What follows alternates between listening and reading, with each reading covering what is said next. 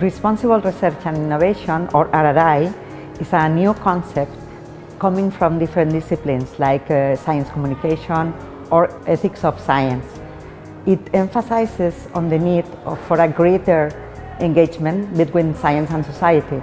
HEIRRI was born to help spread the education of RRI around Europe and the rest of the world, based on the idea that if we want research and innovation to be responsible, education is a key element.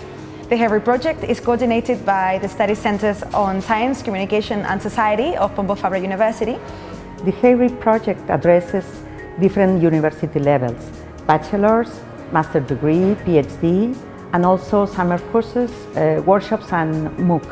Uh, the educational materials launched by HEIRRI is broadly focusing on di different aspects of responsible research and innovation which are certainly public engagement, uh, gender equality, science education, open access, ethics and good scientific governance.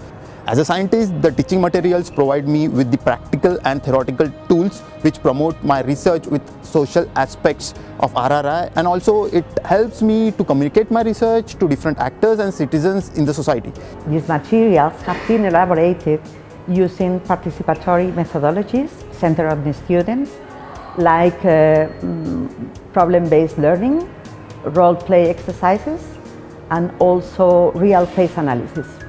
The HEIRRI programs want participants to develop a critical approach to their research so that they can assess the impact of their work and adapt it to the society they live in. I haven't heard of the term RRI specifically before the HEIRRI project, but I come from the part of the Indian society where my parents and friends teaches me the concept and the importance of paying back to the society after self-introspection, right? Uh, I am happy that I'm continuing to learn and implement these similar values through RRI, which is nurtured by the same HEIRRI project. With an RRI approach, science becomes more open to the public and scientists are encouraged to be more reflexive about the impact of their work.